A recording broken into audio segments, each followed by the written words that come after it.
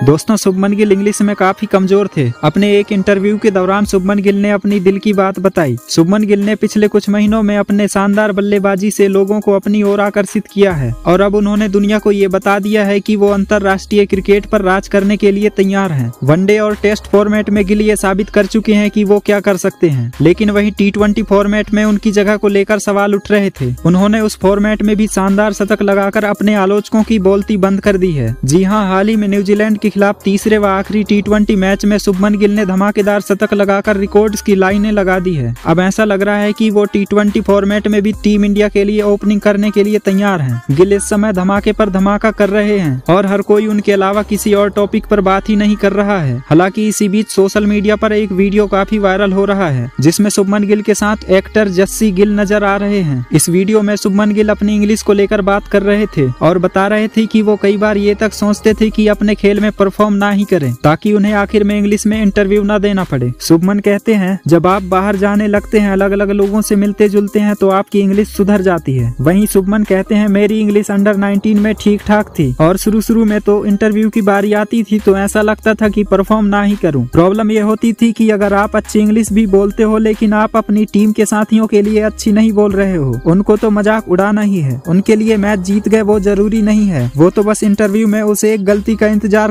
करते हैं, फिर बाद में चिढ़ाते रहते हैं। इसलिए मुझे इंग्लिश में इंटरव्यू देने से डर लगता था। सुभमन गिल कहते हैं, मैं इंग्लिश में थोड़ा सा कमज़ोर था, इसलिए इंग्लिश में इंटरव्यू देने से डरता था। इसलिए मैं अपने खेल में परफॉर्म करने से डरता था। लेकिन अब मेरी इंग्लिश लोगों के साथ इंटरेक्ट होने के बाद अच्छी हो गई है। और अब मुझे इंग्लिश में इंटरव्यू देने से डर नहीं लगता।